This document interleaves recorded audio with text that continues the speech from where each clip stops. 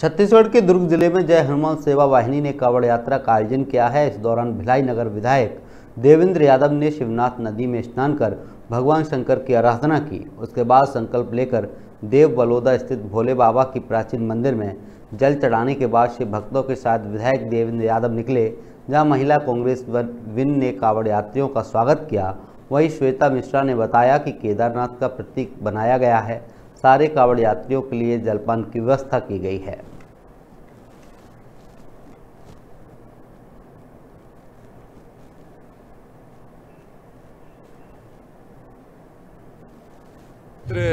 शिवनाथ नदी से हम लोगों ने जल उठाकर हमारे प्राचीन शिव मंदिर देव बलौदा जा रहे हैं। प्रतिवर्ष ये आयोजन किया जाता है। मैं विशेष रूप से जय हनुमान यु, युवा सेवा वाहिनी को शुभकामनाएँ दूँगा। इतना बड़ा आयोजन किया जिसमें शहर भर के भक्त जन और प्रबुद्ध जन सभी लोग सम्मिलित हुए।